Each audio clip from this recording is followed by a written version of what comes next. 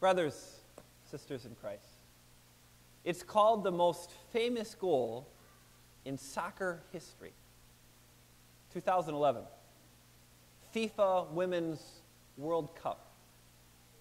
The U.S. is down by one goal with one minute left. Lose, and we're out. Our striker, Megan Rapinoe, gets the ball about 40 yards away from the Brazilian goal. She corrals it and, with one touch of her left foot, sends a perfect cross right in front of the goal. Two Brazilian defenders come out to get the ball away. And yet, somehow, Abby Wambach gets her head in there just so slightly, heads it into the goal, and the stadium goes bonkers. There are millions of views of that moment on YouTube.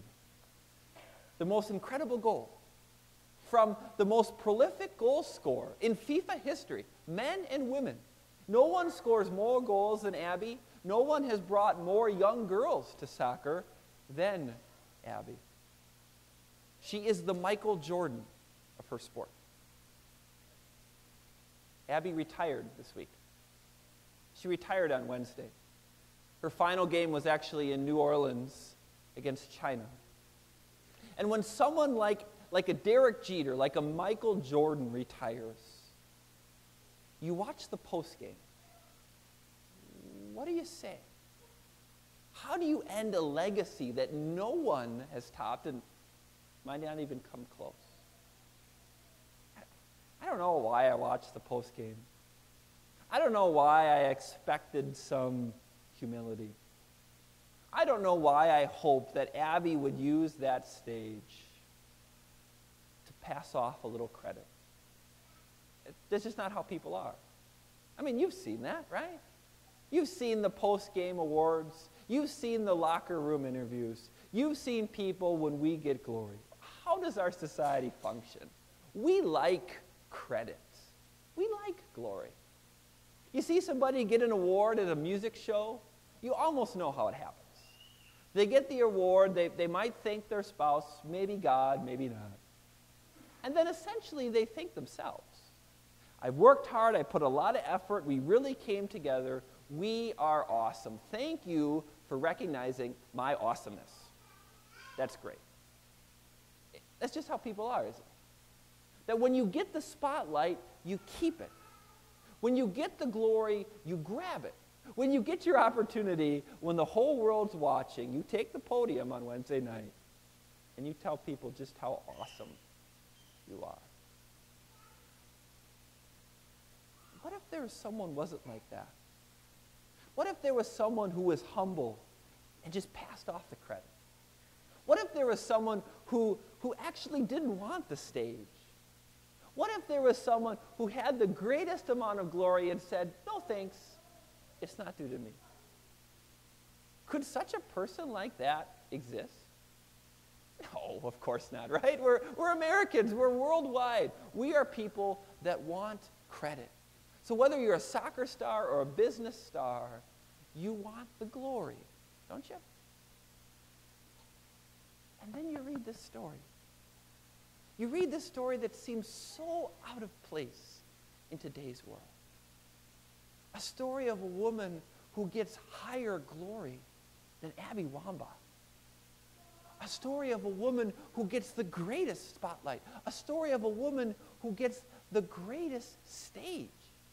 This woman is chosen to be the mother of God. Mary has the greatest spotlight in the world. Mary, what should you do? You should capitalize on it, right? You're going to have Jesus. There is money to be made. You need to get a PR person. You need to start a reality show. You need to start putting your pictures out there and let people know you can see baby Jesus for a small fee, right? If people will spend millions for a Kardashian, if people will spend millions to see a little British baby, they will certainly spend money to see Jesus. I mean, come on, Mary. You got money coming in here. You're going to be the mother of God. But she doesn't. She almost doesn't want the stage. She almost doesn't want the glory. She's given this incredible blessing, and she almost steps off the stage and says, It's not about me. When she's told she is going to be the mother of God, when she gets this message, what is her response? My soul glorifies the Lord. You almost hear her saying, It's not about me, not little old me. It's about God. It's about His goodness. It's about His grace. Because you know what? He has been mindful of the humble state of His servant. Little old me. He remembered little old me. These are words for every anxious Christian. These are words for every depressed Christian. These are words for every Christian who feels a bit unworthy. He remindful of the humble state of his servant. God would choose Mary. Why Mary? We don't know anything about her. She's about as anonymous, nondescript of a woman you can find in the Bible. We don't know her parents. We don't know her hometown. We don't know her family lineage. We know nothing about Mary. Almost like that's God's point. I mean, God could have chosen a princess. God could have chosen a rich girl. God could have chosen a woman with connections. But instead, he picks the woman nobody knows about. He picks the woman that has no flair. He picks the woman that is about as normal as normal can be. And you're going to be the mother of God. He picks, and she shows her roots, doesn't she? That when she gets the spotlight, she turns it back to Jesus. That when she gets the glory, she gives it back to God. That when she gets the credit, there is not a breath about her and her song. It is entirely about what God has given to her. Here is an example of faith. Here is a story for mothers to tell their daughters. Here is a story for grandmothers to tell their granddaughters. Here is faith. That when she gets on the highest stage, she steps off. When she gets the highest glory, this awesome Christian woman says, It's not about me. It is entirely about God. That's what makes Mary so different. She's different from Abby. She's different from Princess Kate. She's different from Kim Kardashian. She's different from almost anybody else in this world. When she gets incredible glory, she doesn't hold an ounce of it. She gives all of it back to God. Makes me wonder how we would do. Makes me wonder if we would get such a blessing. If you would be chosen to be so important in the Savior. What would you say? What would your acceptance speech be? Would it be like Mary? Would you say, just been mindful of little old me? Would you say, I really had nothing to do with it? Would you say, I really don't deserve anything at all? Would you say that? Or would we say, you know what? It is about time I got recognized. You know what? It is about time I get appreciated. You know what? I've been kind of working for a long time, and I'm glad that someone recognizes me for who I am. It's really easy to pick on athletes. It's really easy to pick on celebrities for being glory hounds. It's a lot harder to look in the mirror. It's a lot harder to look in the mirror and say, Do I want the same glory? Look in the mirror, my friends. Look in your mirror as, as a student, as an employee, as a homemaker, as a retiree. Look in the mirror and say, Am I a person who doesn't want the glory? Am I a person that gives it all to God? Or am I a person that secretly wants it, but just wants to look humble? I, I tell you, I have to look in the mirror this morning. We have a number of new members joining us today. That's an awesome thing. That's all to God's glory, all to God's credit. And yet, a part of me wants to take some credit for that. A part of me wants to say, well, I must have done, or, or, or certainly it was me, or how could they not? A, a part of me says, I want the spotlight. I want the credit for what God has done. And that's wrong, my friends. That's sinful. And I'm sorry for it. But when I look in the mirror and I see this heart, I see I want the glory. When you look in the mirror as a student, when you look in the mirror as an employee, when you look in the mirror as a friend, you see the same thing I do? When you get those good grades in school, do you want your fellow students to know so they think how smart you are? When you get that promotion at, in your job, do you make sure that's in the Christmas letter so everybody knows how successful you are? When you moved up the ladder to the next stage in the game, whatever it is, earn life, do you like it when your friends compliment you on how far you've come? We do, don't we? We want the glory. We want the credit, and that's wrong. And that's sinful. And we're sorry. Or maybe for you parents. Do you see as your children grow up, you see as they grow and get successful and get useful and beneficial, do you say, I'm a part of that? You see the glory that they're given and say, it's because of me. They're smart because of me. They've got a good work ethic because of me. They're useful at their job or at their sport because of me. The, the kids get all the glory, which should go to God, but we as parents say, oh, it, it's because of me that my child's successful. When you look in the mirror, do you see that in yourself? That's sin. That's wrong that we're sorry for.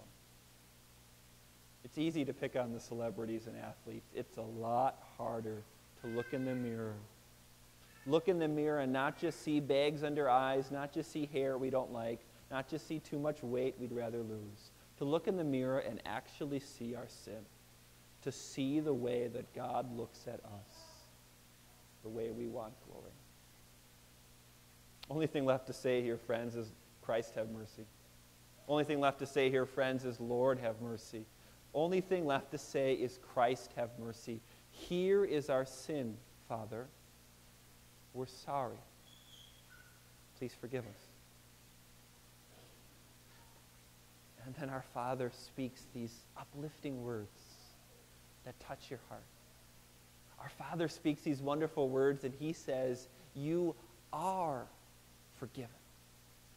Not will be, not could be, not maybe. He says, You are forgiven. You are forgiven because of my son. My son who was born, my son who lived, my son who died, my son who suffered in your place. That's what gives you forgiveness. I punished him. I don't punish you. I visited your sins on him. I don't visit them on you. I killed him. I don't kill you. God says, You are forgiven. Here is what my son did for you. Forgiveness of sins purchased on the cross. That's yours. That's yours by faith. That's yours, and the devil cannot take that away from you. Let that sink in a little bit. Let's make sure we get that. Because we walk in a world where people carry such anxiety. We walk in a world where people carry such worry. They carry such guilt. They think, how could anyone love me? How could I be useful? How could I even have a purpose? And God says, here is my forgiveness. Here is my love. I mean, isn't, isn't that the story of Mary? Isn't that the point of why God chose Mary? He didn't choose her because he was, she was a strong woman. He didn't choose her because she was successful. He didn't choose her because she was worth it. He chose her because he's merciful. He chose her because he's gracious. He chose her because that is the essence of God to forgive and to love. And if God can choose an anonymous woman, if God can choose a nondescript woman and bless and forgive, God chooses anonymous and nondescript men.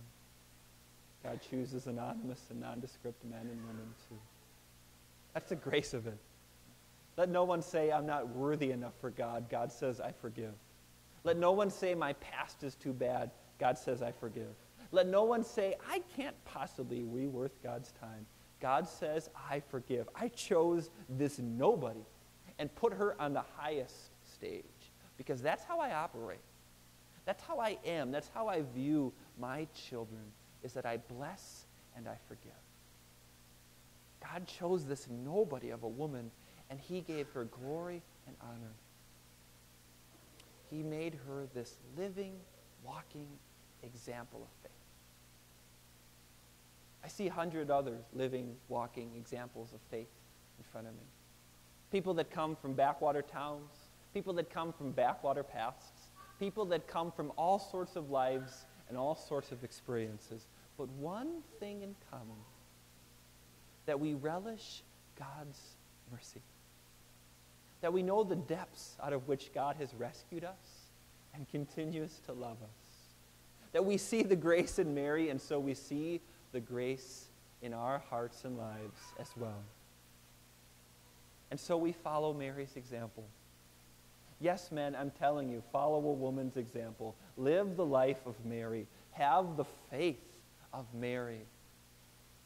Give God the glory. Grab none of it for yourself. Don't hold any of it. Don't try to reach where it's not yours. Give God the glory, just like Mary did.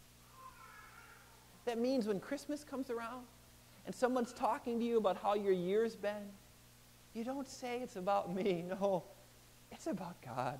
I would have messed it up a long time ago, but you know what? God's got me through another year. That means when your friend texts you and asks what you got for Christmas, you tell them Jesus. And then you say whatever else you got. That means when you call your grandma or your friend around Christmas time and they ask how things are going, you tell them exactly how God feels about you before you say anything else. This is the awesomeness of God, that he rescues us from such sin, and now in our lives, we give him the glory. He has chosen us. He has blessed us. He has remembered the humble state of his servants. Give God the glory. Amen. Please stand.